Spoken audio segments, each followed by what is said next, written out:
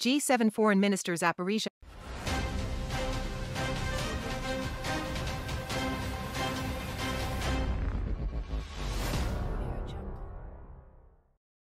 Zaporizhia explained that we would like to leave the management of all nuclear plants in Ukraine, except for the nuclear plant, to continue operations in a controlled manner.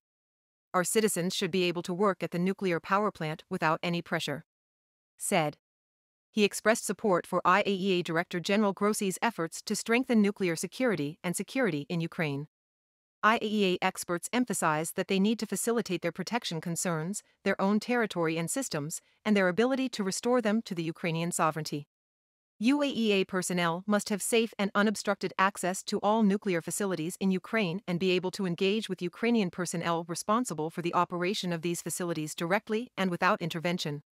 On August 6, the European Union reacted to Russian military activities around Zaporizhia nuclear plant.